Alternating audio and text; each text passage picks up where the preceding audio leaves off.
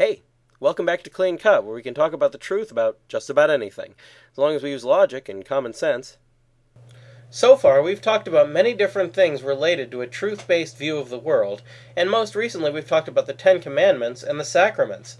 However, for this next season, I'd like to retrace my steps a little and go all the way back to season 4, where we talked about the authentic virtues.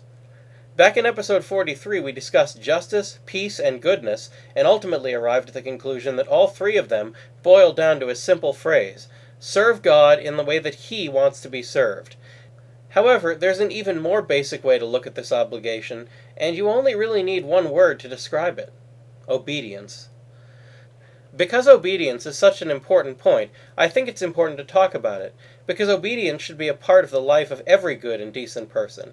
Because of that, it's important to understand what it really is.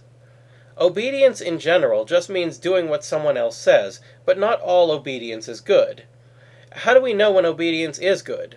Well, if we want our acts of obedience to be virtuous, we need to be obeying God first. All of the virtues come from God, and all of them are focused on drawing us closer to Him and closer to happiness. Therefore, above anything else, God must be obeyed first. As it says in the Bible, let every soul be subject to higher powers.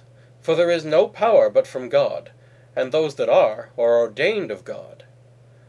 Romans 13 1. However, we also sometimes have an obligation to obey a human being, too, like our boss at work who's paying us to do just that. Because of that, we know that some people should be obeyed more than others. For example, if my project supervisor gives me an order, and then a short time later the head of the company tells us to move on to something else, we have an obligation. We have to obey the higher orders, which come from the higher authorities. There is a hierarchy to obedience. There are two things to watch out for in this area failing to obey sufficiently, and obeying the incorrect authority when orders conflict. In other words, we can be deficient in our obedience, or we can be excessive, obeying people we shouldn't.